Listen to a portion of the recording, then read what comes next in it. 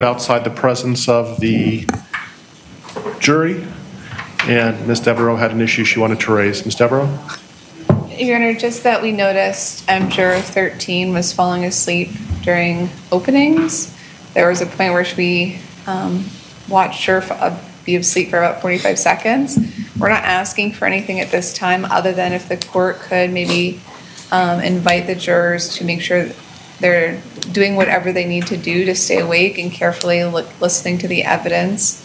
Um, whether that's coffee, breaks, I'm not sure what, what the problem is, maybe inquiring with her independently, um, and seeing what her situation is, if she's able to pay close attention this morning, um, or if she's experiencing something in her personal life that's preventing her from being able to do so.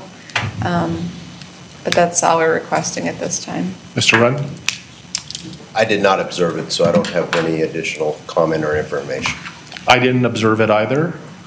Um, I will monitor that, and if it's necessary, we will have a discussion with juror number 13. Um, But at this point, I'm not going to take any further action or make any statements until I observe it and believe that there's a concern that juror 13 is not paying attention. Okay, let's bring the jurors in. When the jurors come in, if everybody can please rise.